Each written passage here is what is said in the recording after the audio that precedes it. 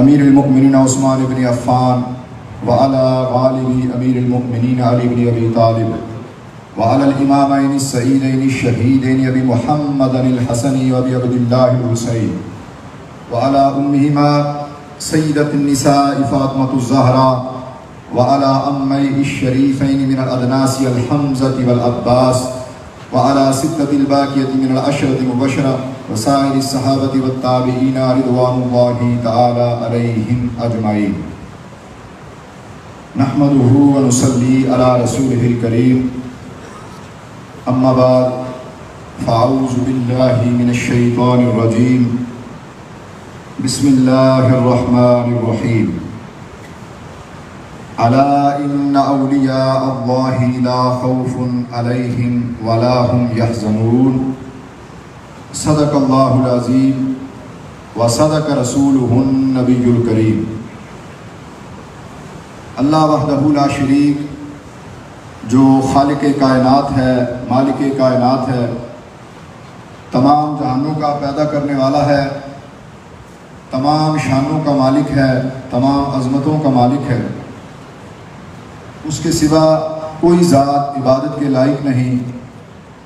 اس کا کوئی شریک نہیں۔ اس وحدہ لا شریک کی بے شمار لامحدود حمد و ثناء کے بعد، درود لامحدود آقائے نامدار، مدنی تاجدار، انبیاء کے شہر یار مرسلین کے شاہ سوار، محبوب خدا، میرے اور آپ کے آقا جناب حضرت محمد مصطفیٰ۔ صلی اللہ علیہ وآلہ وسلم کی ذات بابرکات پر سب احباب، سارے بیلی بلند آواز سے درود و سلام کا نظرانہ پیش کریں۔ السلام والسلام علیکم سیدی یا رسول اللہ۔ وعلا آلکا و اصحابکا یا حبیب اللہ۔ السلام والسلام علیکہ یا سیدی یا رسول اللہ۔ وعلا آلکا و اصحابکا یا رحمت للعالمین۔ السلام والسلام علیکہ یا سیدی یا رسول اللہ۔ وعلا آلکا و اصحابکا یا حبیب اللہ بندہ پروردگارم، امت احمد نبی، دوست دار چار یارم، تابع اولاد علی، مذہب حنفی دارم ملت حضرت خلیل، خاک پائے غوث اعظم، زیر سایہ ہر ولی۔ غلام نقش بندہ شو اگر دنیا و دین خواہی۔ غلام نقش بندہ شو اگر دنیا و دین خواہی۔ سگے درگاہ مجدد شو اگر حق یقین خواہی۔ الحمدللہ، اللہ وحدہ لا شریک کی رحمت اور توفیق سے ہم سب آستانہ علیہ شیر ربانی و ثانی لاسانی، رحمت اللہ علیہ پہ حاضر ہیں۔ ربیع الاول شریف کا آغاز ہو چکا ہے۔ ہر طرف نبی پاک صلی اللہ علیہ وآلہ وسلم کی آمد کے چرچے ہیں۔ اور الحمدللہ اللہ حضرت کتب ربانی امام الاولیاء اس بر صغیر کے عظیم ترین ولی کامل اللہ حضرت حضور شیر ربانی رحمت اللہ علیہ، آپ کے عرص پاک کی پہلی نشست کا بلکہ دوسری نشست کا سلسلہ ہے۔ کل سے یہ سلسلہ روایت کے مطابق جاری و ساری ہے۔ ہم سب کے لیے یہ بڑی سعادت مندی کی بات ہے کہ اللہ وحدہ لا شریک نے ہمیں اولیاء میں سے سلسلہ عالیہ نقش بندیہ اور سلسلہ عالیہ نقش بندیہ کے عظیم بزرگوں میں سے اعلیٰ حضرت حضور شیر ربانی رحمت اللہ علیہ کی نسبت عطا فرما دی ہے۔ حضور میاں صاحب رحمت اللہ علیہ کی نسبت ایک تو دنیا میں ہمارے لیے باعث برکت ہے۔ جب ہم اس دنیا سے رخصت ہوں گے تو تب حقیقت ہمارے سامنے آشکار ہوگی۔ کہ اس کامل ولی کی نسبت سے اللہ کریم نے ہمیں کتنا نفع اور کتنا نور عطا فرمایا ہے۔ سلسلہ عالیہ نقشبندیہ کا آغاز جو ہے، یہ امام الصحابہ و امام اہل بیت، یار غار مصطفیٰ، یار نظار مصطفیٰ افضل البشر بعد از انبیاء بالتحقیق حضرت سیدنا ابو بکر صدیق رضی اللہ تعالیٰ عنہ کی ذات اقدس سے ہوتا ہے کہ آپ نے ڈائریکٹ آقا علیہ السلام کی ذات اقدس سے فیض لیا ہے اور اس فیض کو آگے امت مصطفیٰ کریم صلی اللہ علیہ وآلہ وسلم میں تقسیم فرمایا اب یہ فیض کس انداز سے حضور نے اپنے یار غار کو عطا فرمایا؟ تمام سلاسل معتبر ہیں اور ہر سلسلہ اپنے اندر اپنی پہچان رکھتا ہے اور ہر سلسلہ بندے کو حضور تک پہنچاتا ہے اور حضور بندے کو رب تک پہنچاتے ہیں۔ مگر سلسلہ عالیہ نقشبندیہ کی انفرادیت کیا ہے؟ اس میں تمام سلاسل کا فیض ہے۔ حضرت امام ربانی، حضرت مجدد الفسانی شیخ احمد فاروقی سرحدی رحمت اللہ علیہ، جو نہ صرف اس خطے بر صغیر میں بلکہ پوری دنیا میں اسلام کی نشات ثانیہ فرمانے والی شخصیت ہے اسلام کو دوبارہ سے سر بلند کرنے والی شخصیت ہے اور یہ جو دوسرا ہزار سال حضور کی آمد کے بعد گزر رہا ہے، اس ہزار سال کے مجدد ہیں۔ آپ کے پاس تمام سلاسل کا فیض اللہ کریم نے جمع فرمایا۔ چشتی سلسلے کا فیض بھی آپ کے پاس ہے۔ قادری سلسلے کا فیض بھی آپ کے پاس ہے۔ سوروردی سلسلے کا فیض بھی آپ کے پاس ہے۔ نقش بندی سلسلے کا فیض بھی آپ کے پاس ہے۔ بلکہ تمام رائج سلاسل جو معروف ہیں یا غیر معروف ہیں، آمد الناس، جن سے واقف بھی نہیں ہے زیادہ تر، وہ تمام سلاسل بھی اللہ کریم نے حضرت امام ربانی رحمت اللہ علیہ کی ذات اقدس میں جمع فرما دی اور وہ سلسلہ پھر وہاں رکا نہیں۔ آگے جب آپ کرم نوازی فرماتے رہے اپنے خلفاء میں، تو وہی فیض چلتا چلتا چلتا چلتا حضرت پیر سید امام علی شاہ صاحب رحمت اللہ علیہ آپ کی ذات اقدس تک پہنچا اور پھر وہ امانت آپ نے بابا جی میاں امیر الدین صاحب رحمت اللہ علیہ کو منتقل فرمائی۔ پھر وہ امانت اللہ حضرت حضور شیر ربانی رحمت اللہ علیہ کو آپ نے عطا کی۔ اور اس امانت کو ادا کرنے کا انداز کیا تھا؟ حضرت امام ربانی، حضرت مجدد الفسانی رحمت اللہ علیہ۔ آپ کو یہ امانت کس انداز سے ملی؟ بلکہ آغاز کرتے ہیں کہ سرکار صدیق اکبر رضی اللہ تعالیٰ عنہ کو حضور نے یہ امانت کس انداز سے عطا فرمائی؟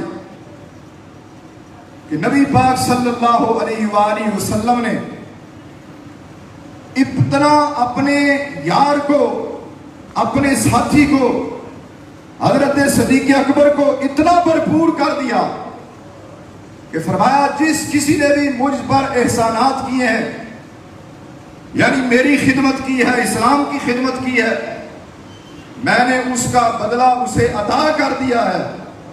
مگر میرا یار صدیق اکبر، روز معاشر اللہ کریم، ان کی خدمت کا بدلہ، ان کی خدمت کا صلہ خود انہیں عطا فرمائے گا۔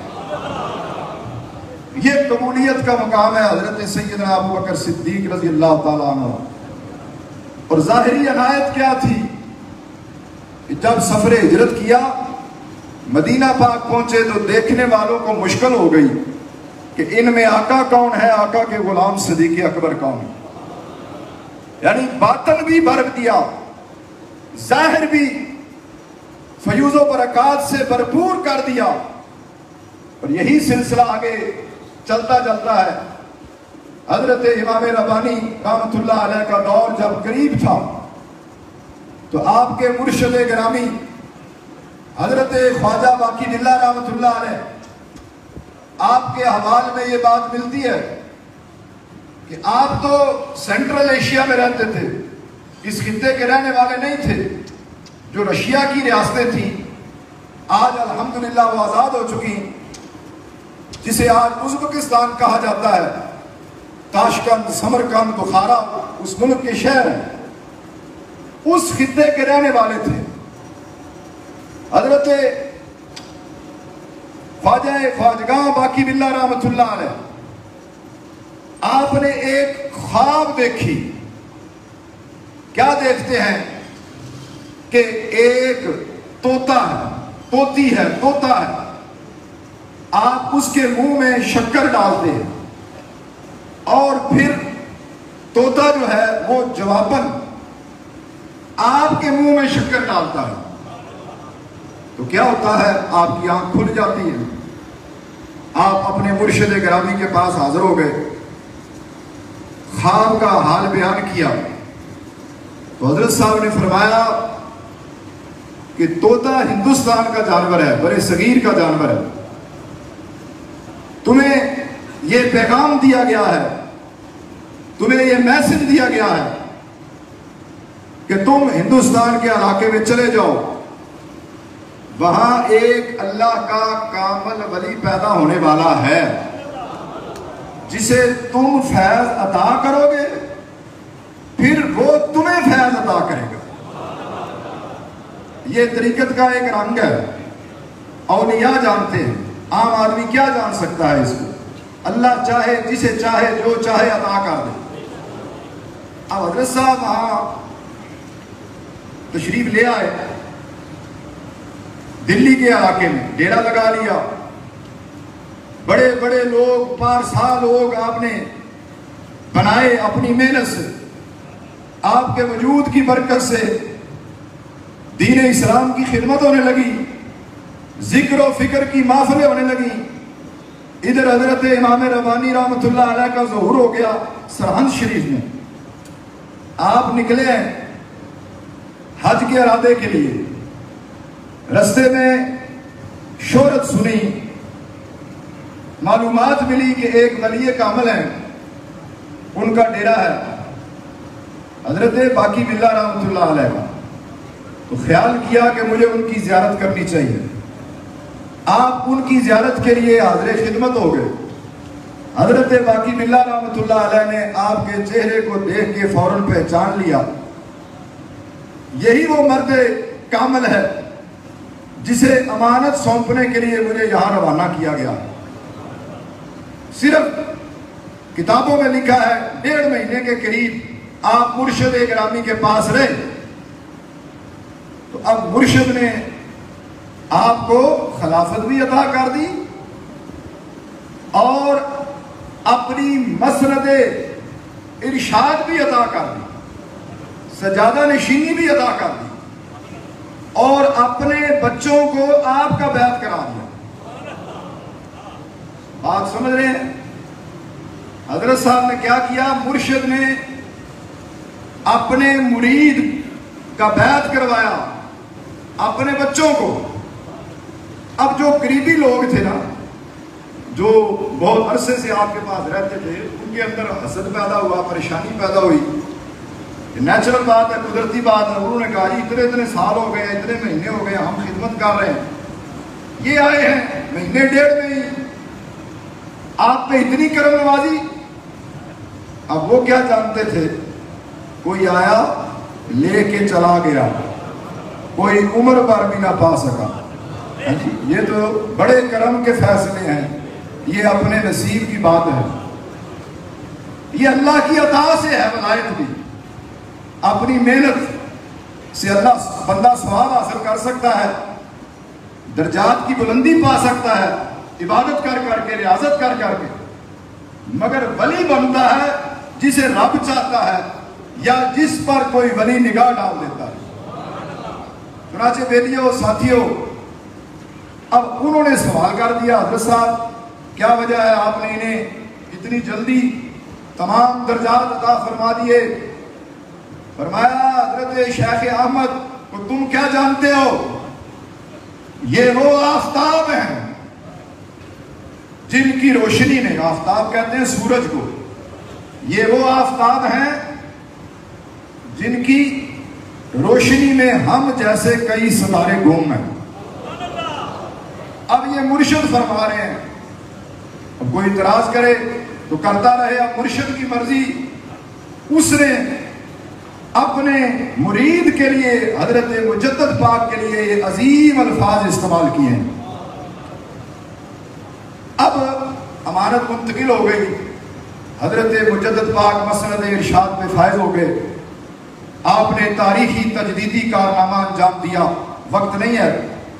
مختصر یہ کہ آج ہم کلمہ گو ہیں، تو سب حضرت مجدد پاک کی نظر فیض کا نتیجہ ہے کہ ہم کلمہ پڑھتے ہیں۔ آپ نے دین کو اس خطے میں نہ صرف بلکہ پوری دنیا میں اس کی حفاظت فرمائی۔ اب یہی سلسلہ فیض آگے منتقل ہوتا ہوتا۔ حضرت بابا جی رحمت اللہ علیہ کے ذریعے میاں صاحب کے پاس پہنچا۔ اب یہ سلسلہ جو فیض کا تھا، عطا کا تھا، وہ رکا نہیں ہے۔ اس کی جھلک ہمیں میاں صاحب کی ذات میں کیسے نظر آئی؟ اللہ حضرت شیر ربانی رحمت اللہ علیہ،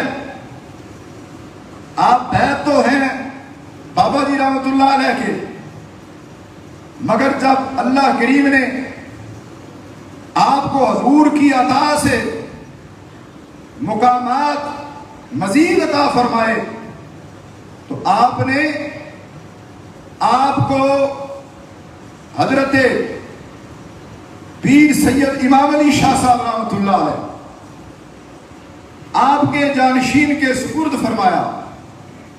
اور پھر لطف کی بات کیا ہے؟ دادا مرشد خانہ ہے حضرت امام علی شاہ صاحب، میاں صاحب کا۔ وقت کے سجادہ نشین۔ سید، سردار، ولی۔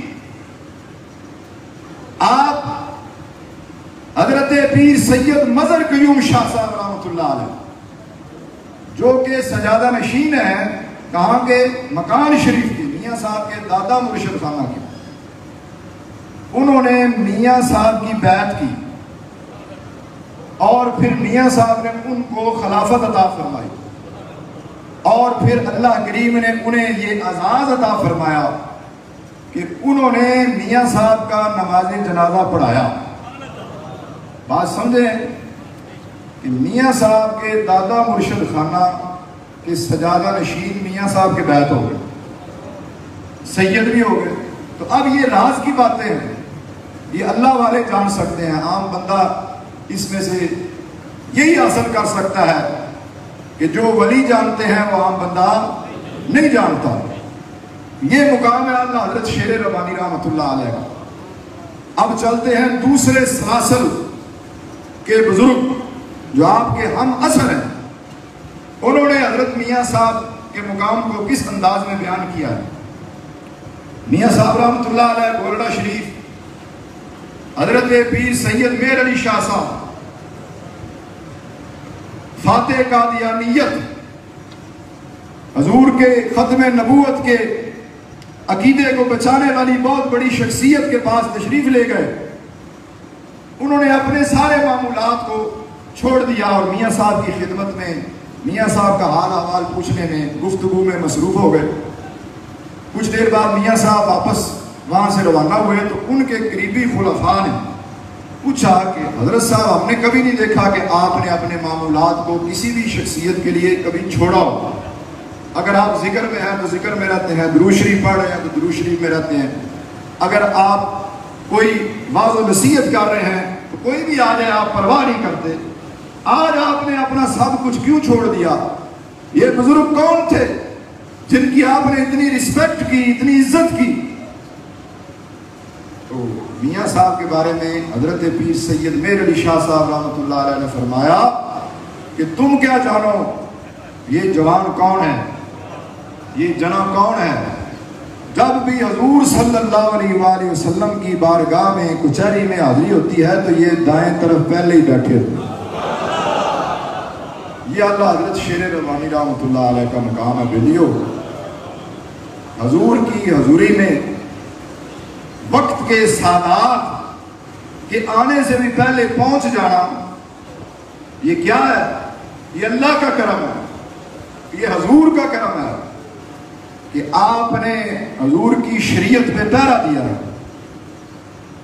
طریقت پہ پیرا دیا اور دوسری چیز، حضرت مجدد پاک رحمت اللہ علیہ، آپ فرماتے ہیں کہ ہمارا جو طریقہ ہے جیسے اس دور میں صوفیہ خام تھے، آج بھی صوفیہ خام معاشرے کے اندر موجود ہیں لوگوں کو گمراہ کرنے کے لیے۔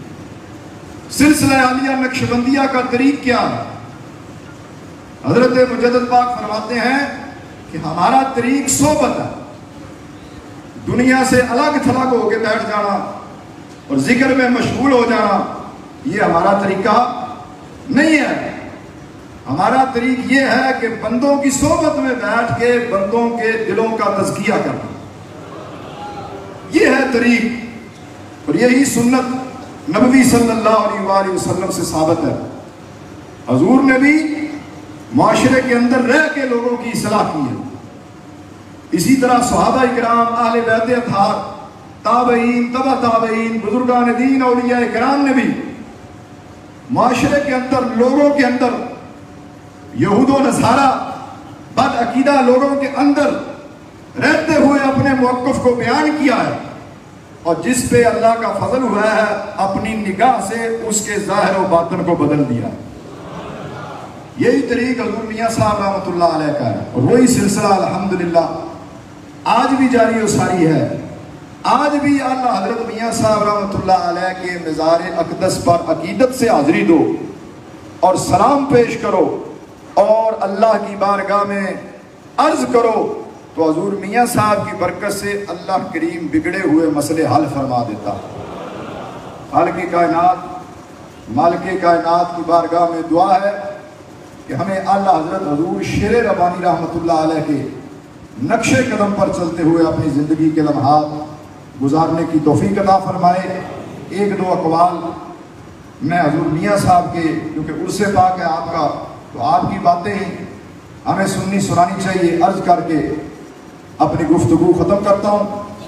میاں صاحب رحمۃ اللہ علیہ نے اپنے خطبات میں ارشاد فرمایا کہ جو بندہ یہ دعویٰ کرتا ہے، مجھے حضور پاک صلی اللہ علیہ وآلہ وسلم سے محبت ہے، مگر وہ حضور صلی اللہ علیہ وآلہ وسلم کی سنت کی پیروی نہیں کرتا۔ وہ شخص جھوٹا ہے جھوٹا ہے جھوٹا ہے۔ لہذا اگر دعویٰ ہے کہ ہمیں حضور سے محبت ہے تو ہمیں حضور پاک صلی اللہ علیہ وآلہ وسلم کی سنت کی پیروی کرنی چاہیے۔ دوسری بات حضور میاں صاحب نے فرمایا، لا کی تلوار سے جب تک فنا نہ ہو، الا اللہ تک پہنچ نہیں سکتا۔ اب یہ بہت گہری بات ہے۔ ہر کہتا ہے جی میں جی میں بس سارے میرے پیچھے لگ جائیں آپ ہر طرف دیکھتے ہیں۔ معاشرے کے اندر، دنیاوی یا دینی لحاظ سے بھی۔ تو فرمایا، لا، اپنی ذات کی نفی۔ جب تک نہیں کرو گے، تو رب کی ذات تک پہنچ سکتے نہیں۔ یہ درس کیا ہے؟ آجزی کا، انکساری کا، ماننے کا۔ اللہ حضرت شیر ربانی رحمت اللہ علیہ کی شان اقدس کے کیا کہنے اخلاص کیا تھا آپ کہ سینکڑوں لوگ جمعے کے اجتماع میں آپ کی گفتگو سنتے تھے۔ ایک روز ایک شخص لیٹ ہو گیا، دیر سے پہنچا۔ میاں صاحب خطبہ ارشاد فرما چکے تھے۔ تو وہ آ کے ملا اور رونے لگا۔ میاں صاحب نے فرمایا، تو کیوں روتا ہے؟ اس نے کہا جی گھر سے ارادہ یہ کیا تھا۔ بڑا سفر کیا ہے، ارادہ یہ کیا تھا کہ میاں صاحب کی زیارت بھی کروں گا اور میاں صاحب کی گفتگو سنوں گا، تقریر سنوں گا، خطبہ سنوں گا۔ مگر دیر ہو گئی ہے۔ میاں صاحب نے ساری تقریر، سارا خطبہ جو سینکڑوں لوگوں کو سنایا تھا آپ نے وہ سارا اس کے سامنے بیان فرما دیا۔ وہ حیران ہو گیا، حضرت صاحب، اتنی کرم نوازی۔ فرمایا، جو پہلے بیان کیا تھا، وہ بھی اللہ کی رضا کے لیے کیا تھا۔ اور جو تمہارے سامنے بیان کیا ہے، یہ بھی اللہ کی رضا کے لیے کیا۔ تو اولیاء اللہ اس انداز سے دین کی خدمت کرتے ہیں۔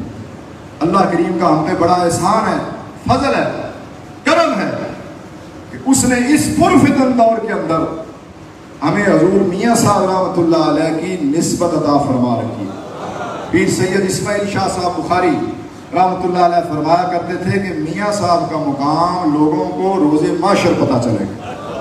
کہ اللہ حضرت شیر ربانی رحمۃ اللہ علیہ کا کیا مقام ہے۔ اللہ کریم ہمیں احترام کے ساتھ عرص پاک کے اندر شرکت کی توفیق عطا فرمائے اور جس طرح یہ عرص شریف انشاءاللہ کل قبل از نماز زور اختتام پذیر ہو جائے گا۔ بیس تاریخ جو اس مہینے کی ہے، ربیع الاول شریف کا تیسرا جمعہ، والد گرامی ولی کامل محبوب المشائق حضرت میاں خلیل صاحب رحمۃ اللہ علیہ کا عرص ہوگا، جو آئندہ جمعہ آ رہا ہے، وہ جمعہ چھوڑ کے اس سے اگلا جمعہ۔ وہ تیسرا جمعہ بن رہا ہے ربیع الاول شریف کا، اور اسی طرح سترہ اٹھارہ اکتوبر، بروز جمعرات جمعہ، حضور ثانی صاحب رحمۃ اللہ علیہ اور حضور فخر المشائق حضرت میاں جمیل احمد صاحب رحمۃ اللہ علیہ کا اس سے پاک ہوگا، شرکت فرما کے صواب دارین حاصل کرے وما علینا الا البلاغ المبین بارک اللہ لنا ولکم فی القرآن العظیم ونفعنا وإياكم بالآيات والذكر الحكيم۔